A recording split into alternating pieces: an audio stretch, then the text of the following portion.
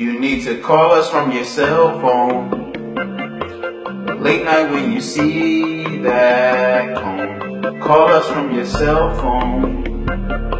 That parking spot's not yours alone. Cause when we get that dispatch ring, that kid only means one thing.